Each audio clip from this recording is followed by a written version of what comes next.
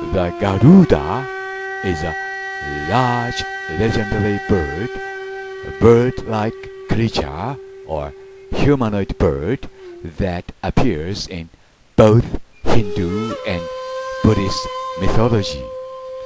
And here in Japan, you can see Garuda named Tengu or Karura, the most mighty goblin-like deity. It's my honor to show you an article about the deity by Otomo H. San, edited by Hiroshi Hayashi, Japan.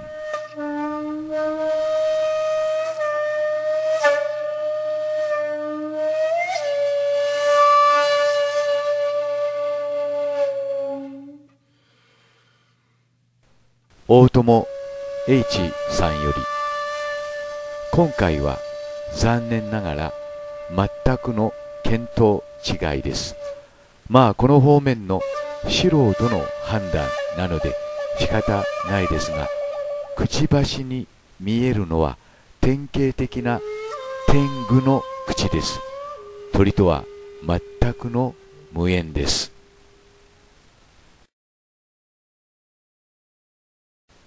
カルラ様はご指摘のようにインドのガルーダ神がその元だと言われていますが実はカルラ様は天狗の一形態を示しています。そして天狗は何かというと出雲族を指したものです。これは私の長年にわたる研究により最近ようやく明確になりました。しかしこの結果にたどり着けるのは従来の民族学者的なアプローチでは不可能です。神道の秘伝を知らなければ天狗と出雲を結びつけることは不可能でしょ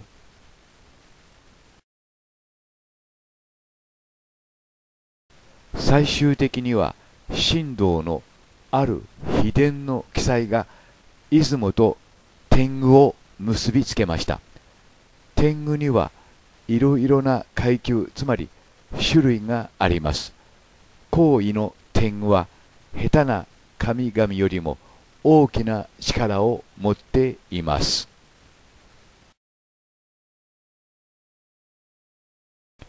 天狗の顔は一般的に知られている。鼻の長い顔の天狗ばかりではございません。例えばカラス天狗などは鼻は長くありませんし今も現世でいたずらをするこの葉天狗も鼻が長いわけではありません。この辺りのことでしたら民族学的な天狗論に記載が見られます。天狗は古事記つまり古事記にも記載が見られます。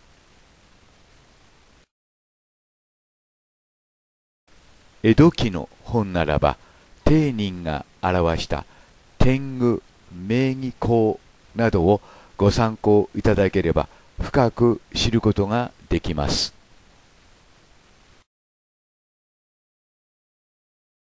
井上遠慮の妖怪草書の中にも天狗論大正5年間という書籍もございます。一番参考になるのはおそらく平田篤胤が表した船頭虎吉物語あたりでしょうか。憑依を医学的に研究していた金子淳二先生の著作日本古表史資料修正全2巻や日本精神病監視資料修正天狗カッパ編などは日本のあらゆる類書を紐解き項目ごとにまとめられておりいろいろな意味で参考になります。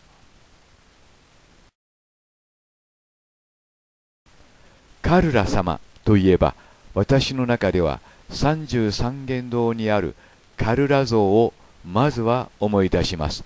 もしカルラ様が貴殿のご主張通りならばこちらのカウラ様にも頭に何か乗せていたことを示すことが必須だと思いますがいかがでしょうか？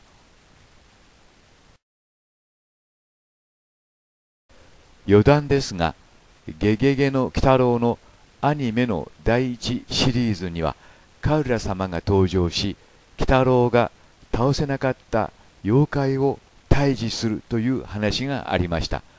なぜかこの話が強烈に頭に残っておりずっとカウラ様について詳細を知りたいと思っていました。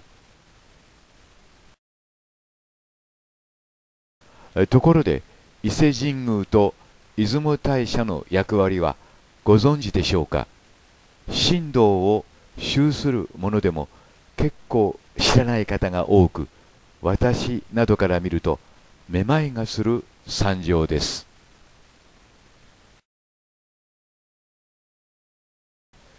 伊勢は目に見える世界つまり写し世を統括し出雲大社は目に見えぬ世界隔離世を統括しています。いわば両者は表裏一体で分け考えることはできません。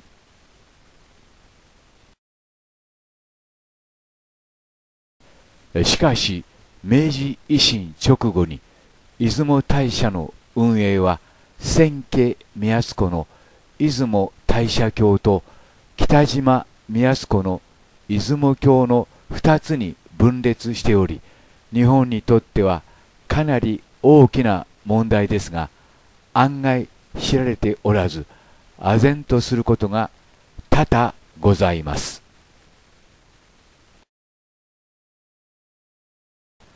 また日本神話つまり古事記の記載ではご存知だと思いますが神々は人間を作っていません。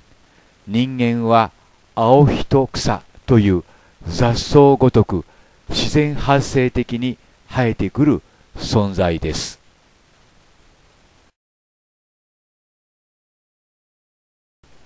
ここがキリスト教などの西洋の神と日本の神の一番の相違点でしょう。西洋では神は人間の創造主ですが日本ではそうではありません。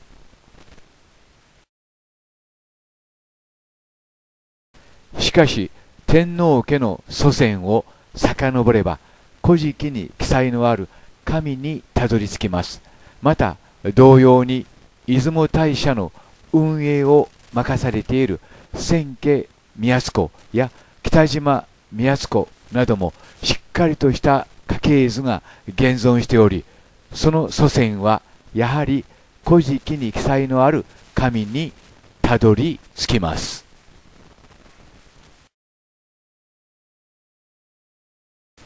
またうろ覚えですが天部神社の宮司は天皇家よりも密接に神とのつながりがあったとの記憶もございます。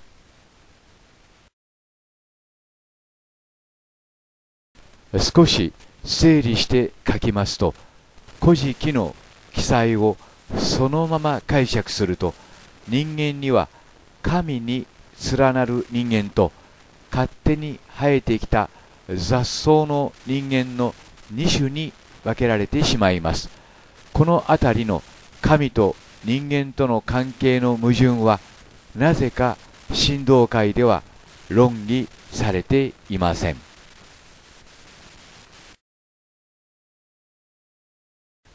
また残念ながら私は日本国体の平らかなることを記念している身ですので表の世界にプロフィールの公開などはできないことをご理解いただければと存じます。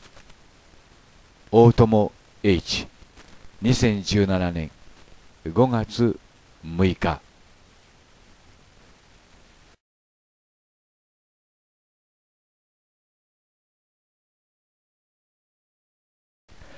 結論ということになりますが、その結論はさておき、今回、大友 H さんの投稿を読ませていただきまして、私は改めて日本の歴史、そして歴史、文化の深遠さ、つまり深さというものを思い知らされました。と同時に、謎解きの重大性といいますか、重要性をも思い知らされました。私自身は本当に何も知らないんだということを思い知らされたということになります。どうも、大友 H さん、ありがとうございました。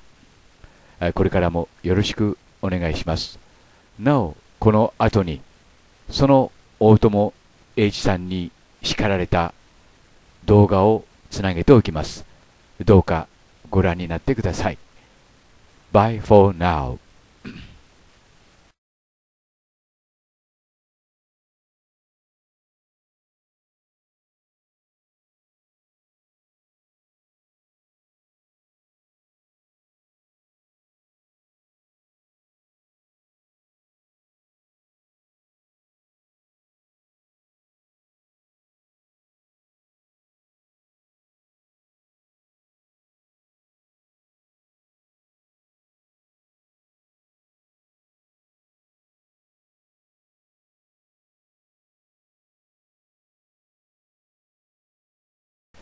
a bird head man in Japan. You can see a very strange statue in Kofukuji Temple, Nara, Japan. A statue with a bird head and with a human body. This is the story about it. 奈良興福寺にありますカルラ像です。 超頭人間、つまり鳥の頭をした人間ということになります。で、この頭のところにですね、何かあったはずですね。その接合部が残っています。で、ここには何があったかということを調べてみます。で、同じような像が実はエジプトに残っていました。